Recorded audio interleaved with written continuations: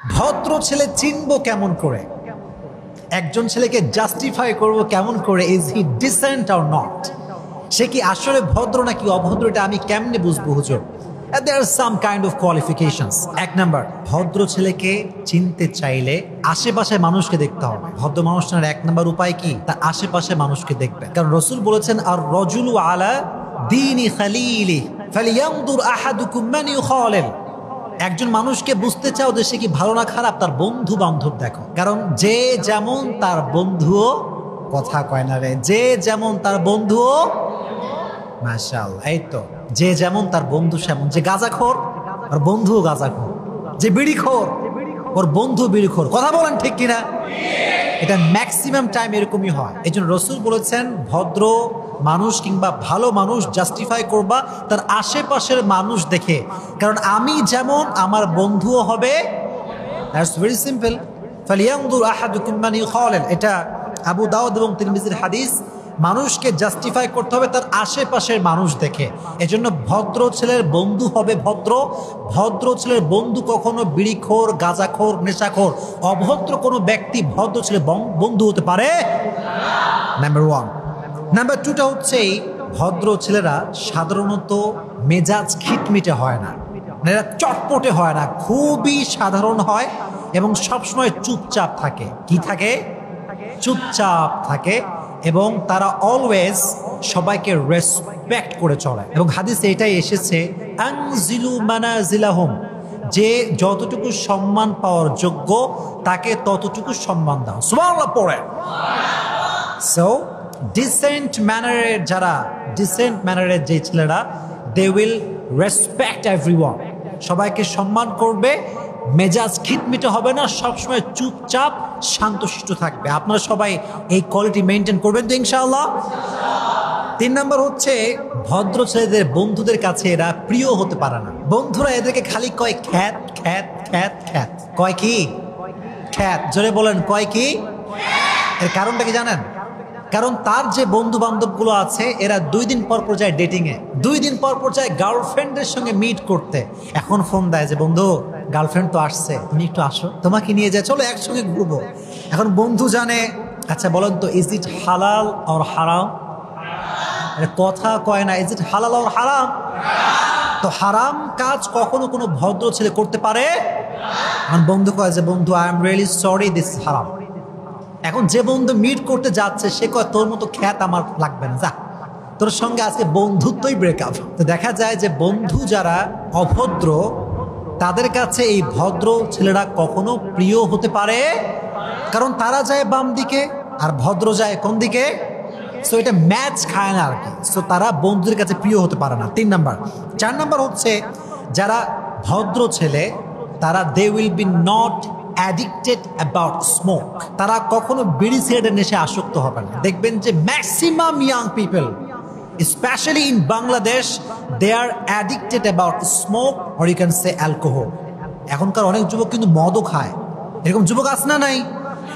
So, ভদ্র ছেলে কখনো মদ পান করবে না? কখনো কোনো প্রকার কোনো প্রকার কোনো নেশার সঙ্গে জড়িত থাকতে পারে রসুল করিম সাল্লাহ আলহি ওয়াসাল্লাম বলেছেন, যে ব্যক্তি নেশা করে, তার চল্লিশ দিনের নামাজ কবুল হয় না। নাউজুবিল্লাহ পড়েন। নেশা করা যাবে না। আপনার রাজি আছেন তো ইনশাআল্লাহ? চার নাম্বার কোয়ালিটি। পাঁচ নাম্বার হচ্ছে, যারা ভদ্র ছেলে হয়, তারা দেখবেন তার আশেপাশের ভালোবাসার মানুষকে তারা মন থেকে সম্মান করে, তাদের টেক কেয়ার করে, যত্ন করে রাখে এবং এই ছেলেগুলো দেখা যায় যদি বিয়ে করে ফেলে, যদি কোনো মেয়েকে মন মতো পেয়ে যায়, তারা বিয়ে করে ফেলে এবং তার একটাতেই সন্তুষ্ট চোদ্দটা লাগে না। কথা বলেন ঠিক কিনা? তারা একজনেই সন্তুষ্ট থাকে, যাদের ক্যারেক্টার ভালো না, যারা ক্যারেক্টারলেস তাদেরকে আপনি যত সুন্দরী মেয়ে দেন না কেন হ্যাঁ তারা অন্য মেয়েরে ম্যাসেঞ্জারে নখ দিবেই দিবে। কথা ঠিক কিনা? সো এটা ক্যারেক্টারলেসদের একটা বড় নমুনা যে তারা একটাতে সন্তুষ্ট হয় না, তাদের চোদ্দটা লাগে। কিন্তু যারা ভদ্র হয়, তার একটাকেই অ্যানার্ফ মনে করে, একটাকেই ভালোবাসে, ওর সঙ্গেই জীবন, ওর সঙ্গেই মরণ। দ্যাট মিনস এটা হালাল ভাবে বলতেছি, হারাম ভাবে না। সো ভদ্র ছেলেরা কি করে জানেন? একজন মানুষকে পেয়ে সন্তুষ্ট থাকে, চোদ্দ জনের পিছে তারা ছুটতে পারে। এটা হচ্ছে পাঁচ নাম্বার। ছয় number those who are decent boys, always they will perform the salah in continuous process and they will recite the Quran in continuous process. That means in every single day. যারা ভদ্র ছেলে, এরা always ওয়াক্ত নামাজ বা জামাত আদায় করবে এবং প্রত্যেক দিন, প্রত্যেকটা দিন তারা কোরআন তেলাওয়াত করবে। আপনারা এটা মেনটেন করতে রাজি আছেন তো ইনশাআল্লাহ? This is this is very very good quality মানে এটা এত সুন্দর কোয়ালিটিতে বলা কোনো ভাষা রাখে না। এজন্য সকলেই চেষ্টা করবেন পাঁচ ওয়াক্ত নামাজ বা জামাত তাই করব এবং প্রত্যেক দিন ফজরের নামাজের পরে কোরআন তেলাওয়াত করব। রাজি আছে ইনশাআল্লাহ? ছয় নাম্বার। সাত নাম্বার হচ্ছে ভদ্র ছেলেরা, যারা ভদ্র ছেলে, রাস্তাঘাটে এরা মেয়েদের দিকে চোখ তুলে তাকায় থাকে না। কথা কি ঠিক কিনা বলো?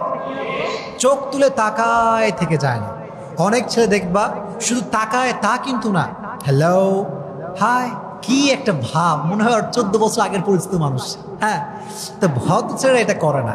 হ্যাঁ এটাও হতে পারে যে কোনো একজন মেয়েকে তোমার পছন্দ হয়েছে, বিয়ে করবা প্রপোজ দিবা দ্যাটস ওকে তার বাপের কাছে যাও, তার থেকে নাম্বারটা নিয়ে আসো, এটা ঠিক আছে। কিন্তু তুমি এই যে আলগা পিরিত দেখাও, এটা কখনো ভদ্র ছেলে কোনো স্বভাব হতে পারে? আর ভদ্র ছেলেরা কখনো রাস্তাতেও ডিস্টার্ব করে না? এরা ফেসবুক কিংবা মেসেঞ্জারে কোনো মেয়েকে মেসেজ দিয়েও ডিস্টার্ব করে না। কথা ঠিক কিনা বলেন? ডিস্টার্ব করে না। অনেক যুবক দেখবেন যে গুতায়, খালি মেসেঞ্জারে গুতায় hi hello hi hello hi hello reply নাই কেন? এত অহংকার তোমার? এত অহংকার তোমার? হ্যাঁ? রিপ্লাই না দিলে কি অহংকারী হয় রে বোকা? ও যে রিপ্লাই দিচ্ছে না, এটা তো ভালো মেয়ের নমুনা। কথা ঠিক কিনা বলেন প্রিয় ভাইরা আপনি তার জন্য একজন মাহরাম পুরুষ না, আপনি তো গায়ের মাহরাম তার জন্য। এজন্য কখনো ভদ্র ছেলে রাস্তাঘাটে কোনো মেয়েকে ডিস্টার্ব করবে না এবং কখনো কোনো ভদ্র ছেলে মেসেঞ্জার হোয়াটসঅ্যাপ ফেসবুক টুইটার তারপরে আরও কি আছে? ইনস্টাগ্রাম যতগুলো সোশ্যাল মিডিয়া প্ল্যাটফর্ম আছে, কোথাও কখনো কোনো ভদ্র ছেলে কোনো মেয়েকে মেসেজ দিয়ে ডিস্টার্ব করতে পারে? মার্শাল্লাহ লাস্ট কোয়ালিটি এটা আমার জন্য জরুরি, তোমার জন্য জরুরি। সেটা কি? ভদ্র, এটা আমি জাস্টিফাই করে বের করছি, এটা আমার অবজারভেশন ভদ্র ছেলেরা কখনো আউট অফ কন্ট্রোল বাইক চালায় না। কথা ঠিক কিনা প্রিয় ভাইরা আওয়াজ নাই। কথা বলেন ঠিক কিনা? কারণ দেখবেন, এখন অনেক ছেলে ছেলেপেলেরা, এই যে রাস্তা আমাদের সিএনবি মোড়ের রাস্তা, তারপরে আপনার এই যে পার্কের যে রাস্তাগুলো আছে, সোজা, যেটা বাজার পর্য- পর্যন্ত যায়, এটাতে ভালোই গ্যাদারিং থাকে, অনেক লোকজন যায়। এখানেও অনেক যুবক দেখা যায় আশি, নব্বই, একশোতে গাড়ি চালার বাপের রোড। কার রোড? বাপের রোড।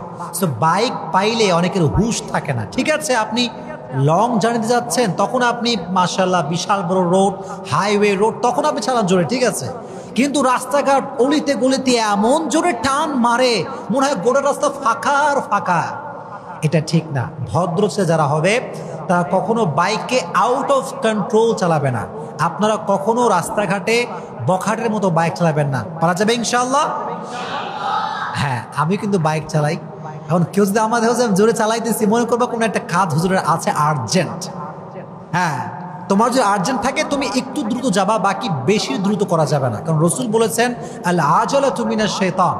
এই দ্রুত কাজ করাটা মানুষের কাজ, কিন্তু শয়তানের কাজ। সবাই বলে নাউজুবিল্লাহ। এই জন্য আল্লাহ রব্বুল আলমিন যা যা বললাম, এর বাইরে আরও অনেক কোয়ালিটি হতে পারে।